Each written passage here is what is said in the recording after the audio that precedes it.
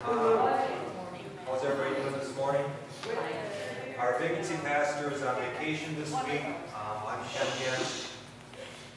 I'm Ken Gens, I'm one of the council members here. Um, Our organist is not here this week either, she's on vacation. So we're, we're trying a bunch of things today. Um, I do not have a microphone, a microphone is being used to broadcast um, the songs and the music over our speakers. So bear with me, we'll do the best as we can. So um, we'll start with our opening hymn.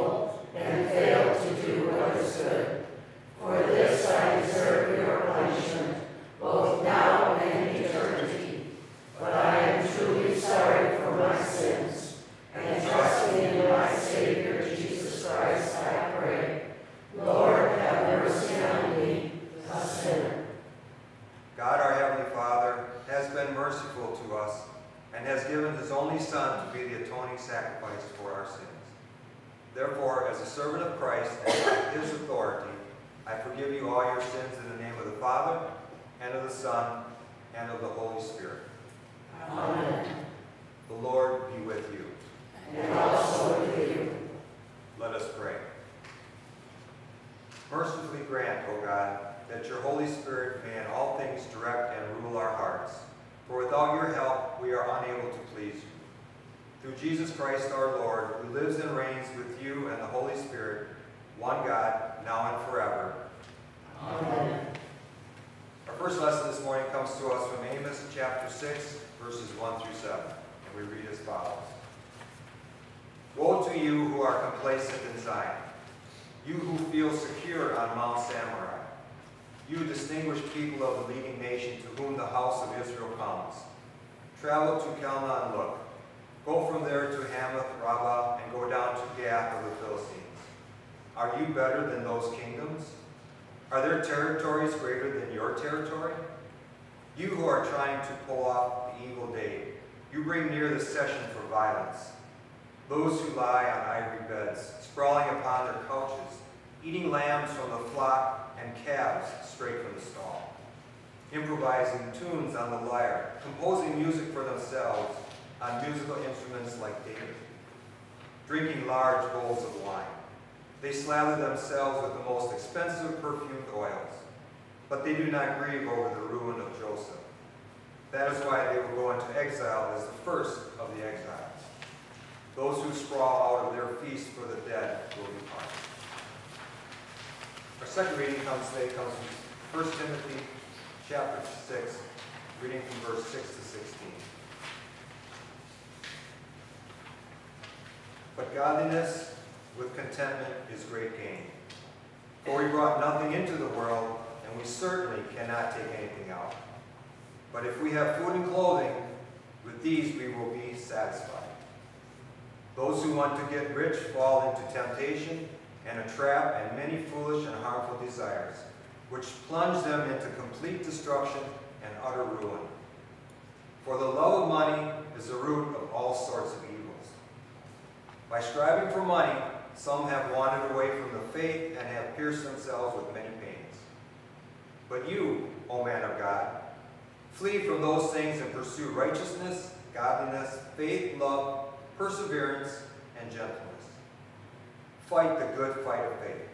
Take hold of eternal life to which you were called and about which you made your good confession in the presence of many witnesses. I charge you in the presence of God, who gives life to all things, and of Christ Jesus, who made a good confession as a witness before Pontius Pilate, that you keep this command without spot and without fault, until the appearing of our Lord Jesus Christ, which he will make known at the proper time.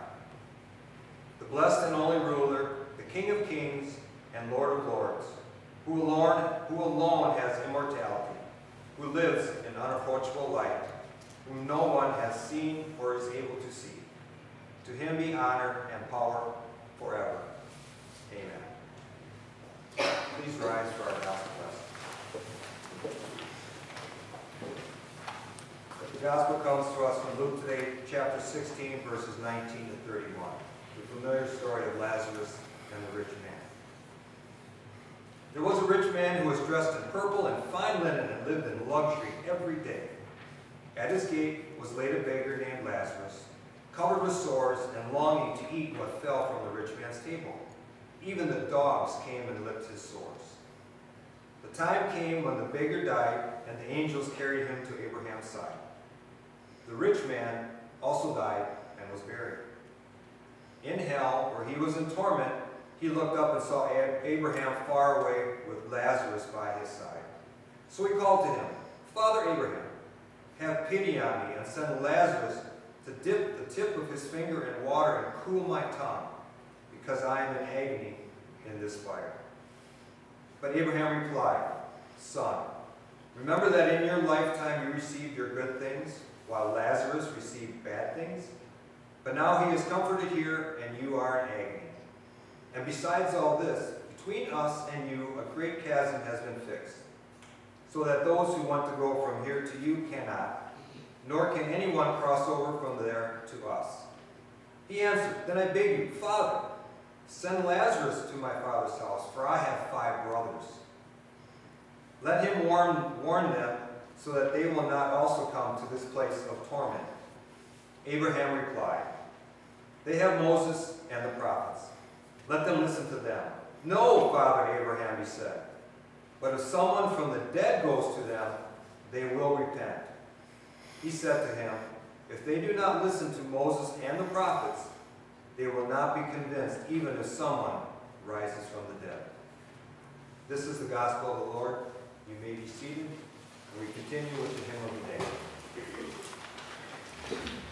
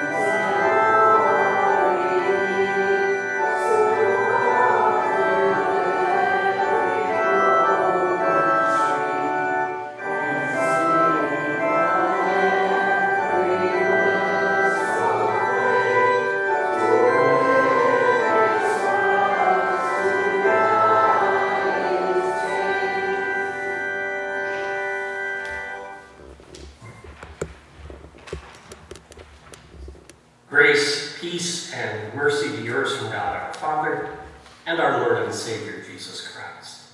Amen. The text that I'd like to consider with you this morning is the gospel lesson for this day from Luke chapter 16, which was read for you a few moments ago, the story of the rich man and Lazarus.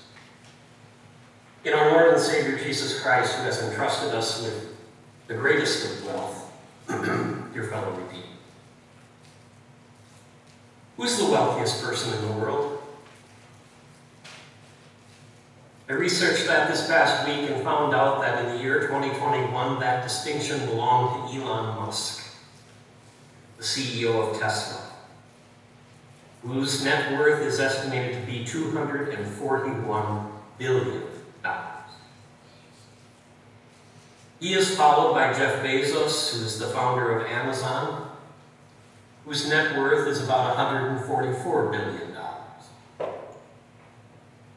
Third on the list is a man by the name of Bernard Arnault of France, who is the CEO of LVMH, which owns such ultra-luxury products such as Louis Vuitton, Sephora, and Christian Dior. Who's the wealthiest person in your community? Who is the wealthiest person among your circle of friends? Who's the wealthiest person in your family? Most of us could probably answer those questions with a certain amount of accuracy. Because we observe people, and we tend to classify them based on their wealth, their lack of it. How big is their house? Kind of car do they drive? What types of investments do they have? We spend a lot of time assessing the wealth of people, ourselves included. Well, God does the same thing in His Word. He makes assessments about wealth. But He doesn't do it in the way that we might think He would do it, according to our worldly as we consider these words from St. Luke's Gospel, chapter 16, we're going to do so this morning, viewing wealth the way God does. And as we do that, we will see that wealth in this world is fleeting. But wealth in Christ lasts forever. There are some people who call this Luke 16, 19 to 31 account a parable of Jesus, but there are also a lot of biblical scholars who believe that Jesus is actually describing an actual occurrence here. That's not a parable. Because you see, the main characteristics of a parable is that one or more of its parts stands for someone or something else. And that is not the case here. In this story, Lazarus is Lazarus, the rich man is the rich man, Hades or hell is Hades or hell. Abraham is Abraham. There is nothing in this story that stands for something else. So it probably is not a parable of Jesus, but probably is a real account that he is given. Let me ask you a question. True or false? The rich man in Jesus' story lived a miserable and unhappy existence because of his wealth? Well, I think you know the answer to that is false. He was a man who was dressed in the finest clothes, he ate the best food. He apparently did not have a care in the world. You know, sometimes we think that wealthy people who are not Christians are very unhappy with their life. And some of them are, no doubt about it. But many of them aren't. Many people, many wealthy people are very happy with their lives. Ask you another true or false question. The rich man in Jesus' story went to hell because he was rich. The answer to that is also false, isn't it? It wasn't because of what he had, but what he didn't have. That was the reason why he ended up in hell. It was because his material wealth, not God, held first place in his heart. It was because his trust was in his wealth and not in God. And it was because his love was for himself and for his wealth and not for God and his neighbor. He very simply did not believe in God or God's promise. When you look at earthly wealth, you quickly come to discover that it is a very fickle and fleeting God. Because it can so quickly be lost, can be stolen, it can be poorly invested, it can be wasted, it can disappear just like that without fulfilling any of its promises of giving us peace, joy, and happiness. But even if wealth does hold up for this life, it certainly shows itself fleeting in the life to come. And that is the warning which Jesus is speaking to us today. You see, God knows our human hearts. God knows that wealth has a way of blurring our vision, and especially our spiritual. It has a way of becoming all-consuming in our lives. It has a way of setting itself up in our hearts and dethroning God from those hearts. And that is why the psalmist gives this warning. Though your riches increase, do not set your heart on them. you see, this rich man's wealth did him no good when he died. It couldn't buy him eternal happiness. It couldn't buy him a place in heaven. It couldn't make him right with God. It couldn't cover his sins with forgiveness. It couldn't make him holy. It could not buy him peace in eternity. Look for a moment where that rich man ended up. In hell. Place of torment. He cried out for Abraham to send Lazarus to dip the the uh, tip of his finger in some water and simply touch his tongue with that water because he was in agony in the flames of hell. What kind of evil place must this be where even a simple wet fingertip is considered to be a luxury? The second point is that once you are in hell, there's no way out. Abraham said, Between us and you a great chasm has been fixed, in order that those who would pass from here to you may not, and none may cross from there to us.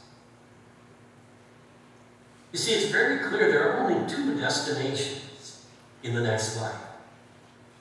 There is heaven, the strive for at all costs, and there is hell, to avoid at all costs. and once you have arrived at one of those two destinations, you are there for eternity. The third point is that the secret to entering heaven and avoiding hell is found in God's Word. When the rich man wanted Abraham to send someone back to earth in order to warn his brothers so that they could avoid the wrath and the fire of hell, Abraham's response was, If they do not hear Moses and the prophets, neither will they be convinced if someone should rise from the dead. Those words teach us that the Word of God is even more effective than the witness of someone who died and then rose from the dead. This point is so important that Jesus actually has Abraham say it twice. When the rich man asked Abraham to send Lazarus to his brothers, Abraham said, They have Moses and the prophets. When the rich man insisted that surely the word of someone who rose from the dead was more powerful than the word of God, Abraham said, If they do not hear Moses and the prophets, they will not be convinced if someone should rise from the dead. You see, Jesus said the same thing in two different ways. He really wanted his hearers to remember what he said. And he really wants us to remember what he said. The Word of God is more powerful than the message of someone who the dead. Look at the religious landscape of our world today. And you will find it is filled with all kinds of marketing schemes to try to get people in the doors of the church. There was a large mega church near Chattanooga while I was serving a vacancy up in Knoxville, Tennessee, which on Easter Sunday actually held a fully sanctioned rodeo inside their sanctuary in the hopes of drawing more crowds. There are churches who have figured out how to have indoor fireworks displays. I have seen videos of pastors beginning their worship service by riding down the aisle on motocross bikes, horses, and even ATVs in order to get attention as they walked into the church. One pastor and his wife actually set up a bed in front of the church and sat on that bed throughout the service while they talked about married life, all in an attempt to try to get more people inside the doors of their church. Friends, there is no man-made marketing gimmick that will produce faith. The only way that we can have that saving faith that will receive eternal life is through the work of the Holy Spirit and the power of the Holy Spirit at work in our hearts. And you know what? The Holy Spirit has promised to work in no other way except through the Word of God. The gospel and God's Word and sacrament. Those are the means that the Holy Spirit uses to create and to sustain faith. How do we view this world? Isn't that the question God would ask of us today? Do we view worldly wealth as the be-all and end-all, the ultimate goal of life? To have as much of it as we possibly can? Do we view it as the thing that God entrusts to us which will give us status, will give us worth, will give us importance in life? and will give us higher standing in the eyes of other people. Do we view worldly wealth as the thing that brings us confidence for the present, for the present, and then also for the future? Do we view it as something that can bring us happiness and goodness? Do we view worldly wealth as God views it? Because when it all comes down to it, what does it matter how much money we have in the bank? Or what kind of wealth status we have achieved when we die? You're not going to take it with you. It's going to be left behind for someone. Oh, dear God, forgive us for the times when we have allowed our emotions and our joy to be dictated by the amount of wealth that we have. God forgive us for judging status, our own status and the status of others, based on the amount of wealth that they have accumulated. And God, thank you for pointing this out to us in the pages of your word. Because it is only then when we view wealth and our attitude toward it as God does only then can we return to assessing what true and lasting wealth is all about and where it can be found. Another true or false question. Lazarus loved living in poverty. He had a great time with it while he was on. Well, obviously that's false. Life was painful and difficult for Lazarus. Poverty is not fun. In fact, there's a prayer in the book of Proverbs that speaks about the difficulties of life and the dangers to faith that come along with extreme poverty. Listen to Solomon's words in Proverbs 30. Give me neither poverty nor riches, but give me only my daily bread.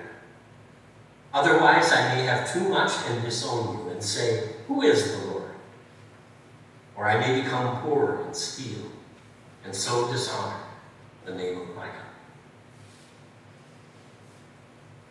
Another true or false question. Lazarus went to heaven as a reward for his living a life of poverty on earth. Once again, false. Living in poverty does not win a person special points with God. It doesn't make him more worthy of God's mercy and favor. It wasn't what Lazarus didn't have, but rather what he did have that landed him in heaven. You see, Lazarus was in possession of something that far surpassed, far outweighed, and far outlasted any kind of worldly wealth. It was a wealth that was viewed by God as the most precious kind of wealth. It was a wealth that had nothing to do with the size of his wallet or the size of his bank account. No, his wealth was found in his heart. We find a clue about why Lazarus went to heaven when we see who he joined there. It was Abraham. And we might even note that Abraham was very wealthy while he was on this earth. But he had a better wealth than worldly wealth in his heart. His wealth came through his faith and trust in the coming Savior. Remember what was said about Abraham? Abraham believed God, and it was credited to him as righteousness. It was his faith in the coming Savior that made Abraham truly wealthy. Faith in the coming Savior was what made Lazarus truly wealthy as well. Yes, that Savior was walking among him at that time. And that Savior would soon walk the path to Calvary, where he would be hanged on a cross, where he would die for the sins of mankind, but then rise again triumphantly on the third day.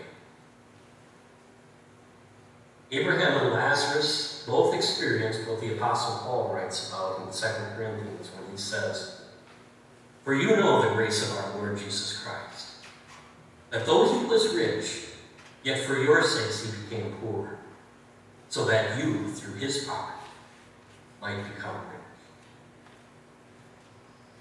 By God's grace, dear friends, you and I have experienced that richness in Christ as well.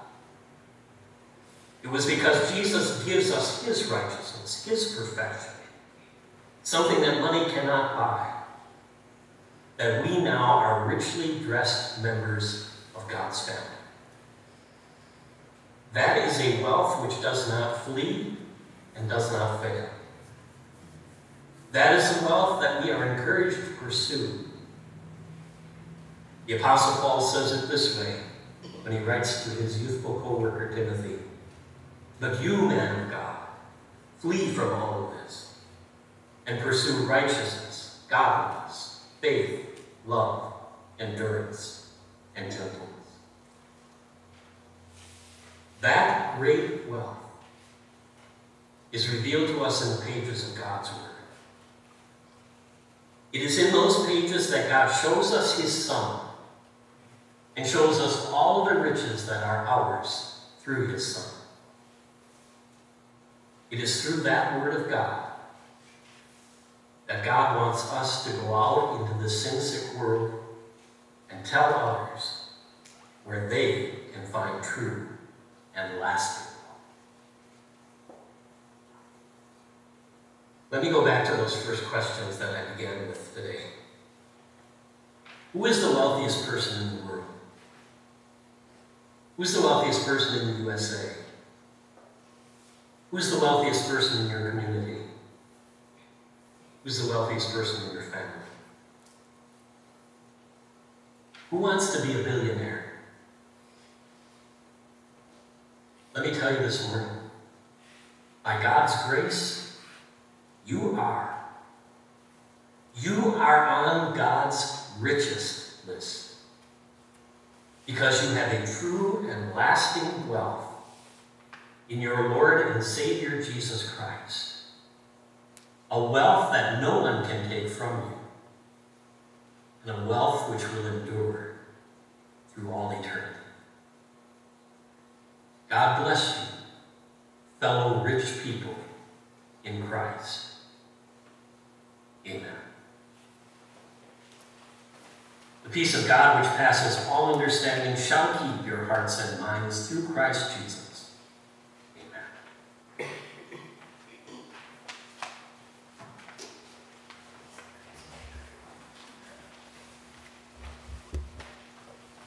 We'll continue with the Apostles' Creed found up on a screen or on the bottom of page five in your service bulletin. I believe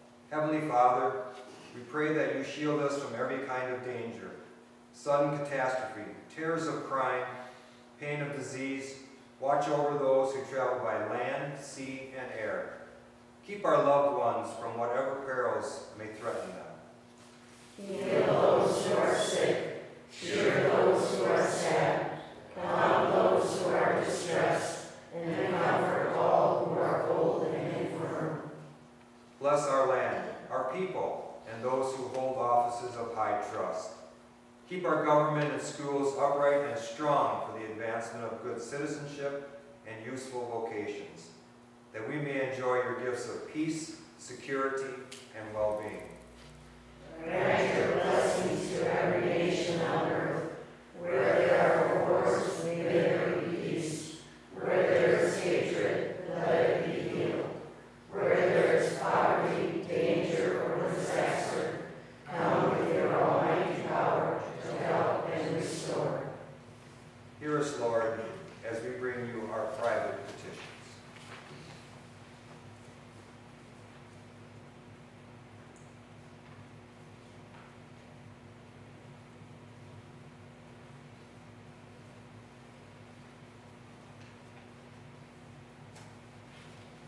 We bring these requests before you in the name of Jesus our Lord and ask you to hear us.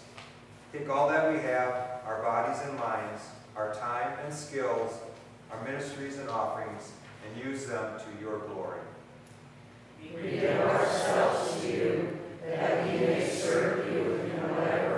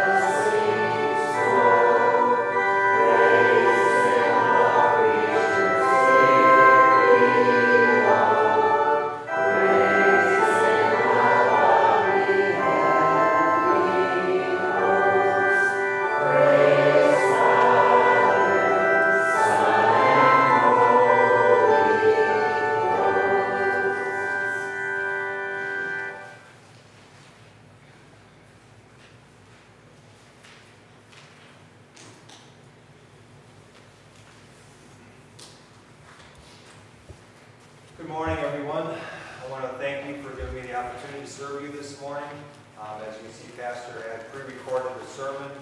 I'm glad they made it work, otherwise I would have had to do it, so. Um, I also want to thank uh, Greg Weirs, Pete, uh, Don, and Amanda. Um, They do a lot for this congregation. Um, Thank you very much for all that you guys do. The announcements are on the back. Uh, I just want to point out that next Sunday after the service, we do have another call meeting. Um, It is very important. We need everybody there to discuss who we need to call as our next pastor. Um, Women, men, everybody come. Um, The men will vote for you if you're a woman. You need to hear your side too of who you like. It's very important, so please come next week for that important call meeting. Um, Is there anything else from the congregation, any other announcements? Yes? I'd like to put in a plug for the Friendship Club Thursday at six o'clock. It's a lot of fun. Okay. It's a small group right now, but we can, can take uh, ninety people in the fellowship hall. Thursday evening at 6 o'clock. We had a good time. Okay. Anything else from the congregation? Okay, thank you, and have a blessed week.